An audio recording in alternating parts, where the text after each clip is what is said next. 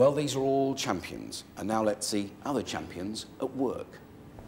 Well, champions indeed, Dennis, but not a champion show dog, what we would call in Lancashire a champion worker, because this, believe it or not, is a police dog. A Rottweiler as opposed to the normal German Shepherd dog, and with me is his handler, PC Bill Hopkins. Bill, why a Rottweiler? Just a personal thing, Les. Um, I worked at GSD for seven years. During that time, we had two Rottweilers on the section. Uh, I fancied working one. I asked if I could work one. I was given the go-ahead. There he is.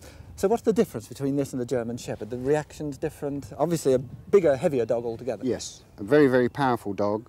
Uh, he does exactly the same work as the GSD, exactly tracking, searching, crowd control, everything, and he does it very well. Is the weight any problem? What about agility? His agility is superb. He will stand underneath a six-foot scale, just duck his backside and virtually clear it. Stand the other side and come back, no problem. Well, we'll see you working a little later on, Bill. You will, uh, we'll, look, yes. we'll look forward to that very much indeed. So but with me I. also is the officer in charge of the Sussex Police Dogs, and I should emphasise these are the Sussex Police Dogs, Inspector Bob Terry. Hello, Les. Bob, what are we going to see this afternoon, uh, and what sort of things do you expect from your police dogs? Uh, what we're going to see this afternoon, Les, is a demonstration in seeing a dog search for a missing person. Uh, a lot of people tend to think that all the people we look for with police dogs are criminals. Well, this is not the case. On many occasions, it is missing persons, children, uh, people from mental hospitals, etc. So all we want the dog to do is search and indicate by barking to the handler that he's located the person. We shall then go on to see a dog chase and detain a man armed with a firearm, and the same with a stick.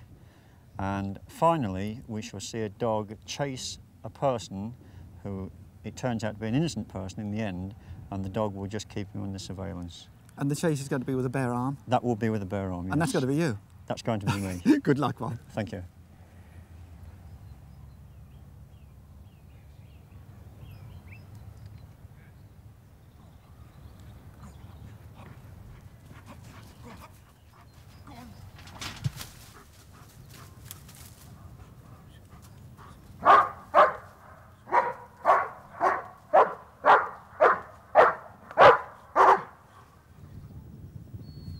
Bob, guns must be a problem these days. What about dogs' reactions?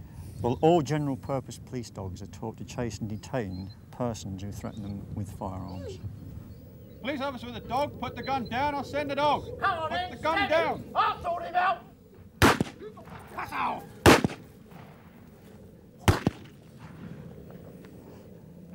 Stand still. Hey, Shadow, leave! Down.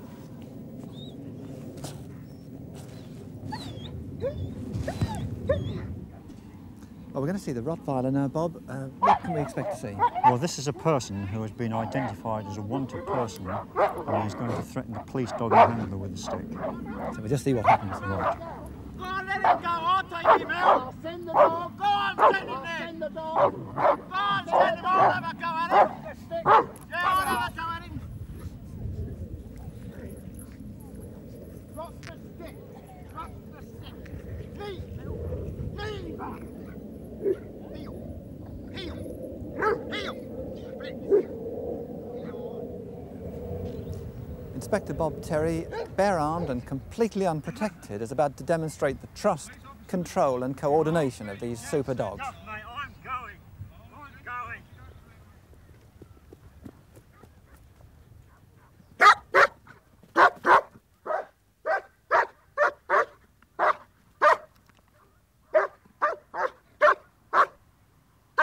Shadow, leave! Well, our thanks to Inspector Bob Terry and the Sussex Police Dog Handlers for an absolutely splendid display. While the police dogs get their man in one way, here's a breed of dog that get their man in a completely different way. We've seen the Newfoundland puppies showing off their beauty points. The black and whites, or as Joe Braddon correctly called them, Landseers, are gaining popularity with their attractive markings. This is a unique dog in that with the minimum amount of training, they're able to save lives if anyone gets into difficulty in water.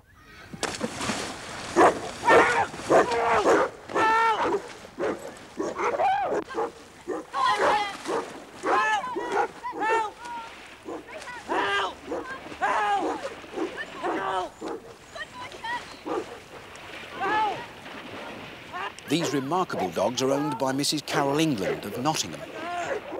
You start training really uh, by retrieving from the water. This is the thing. Uh, we didn't really train them until they were really, we felt that they were built up as well. Lots of swimming in the Trent, fetching out logs and retrieving and coming back on call. Uh, and then we had the boat, and we went out in the boat and fell from the boat, or my husband or son did, fell from the boat, and the dogs straight away went in after them. There was no training of life saving, they automatically did that. And then they go on from that and they want to bring the boat back. And even if you sort of leave them in the water, uh, in the boat on their own, they will jump out of the boat and bring the boat back as well. Which is very useful for bringing the boat back, isn't That's it? right. Well, you never know if you're ever down the river or anywhere and someone gets in difficulties, either feels ill or loses an oar or anything, the dogs would be very helpful. I'm always excited about a dog that's useful to man.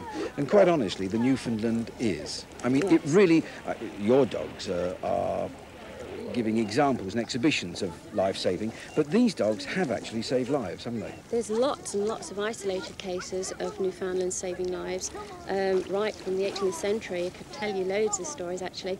But even now, um, today in France, they're used um, on the beaches there, and they're trained in pairs um, to life save. And they do go up and down the beach, and also in Australia.